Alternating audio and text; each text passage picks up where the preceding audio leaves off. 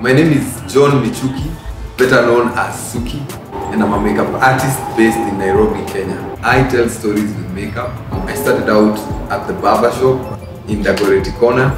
I've done so many movies, music videos. I'm so excited as I'm partnering with the American Embassy through the American Spaces. So I am calling it Script to Skin because this is a makeup workshop that is going to take one year and it's going to equip makeup artists with the skills. Apart from that, they're going to have business skills to run a successful makeup career. And this will be so effective because we are going to get a hundred deserving young people and we're just going to take them through a series of virtual classes and then I'm going to visit all these places and have practical classes with them and at the end of the year we're going to have hundred makeup artists plug them into media houses and potential employers who will take them up as makeup artists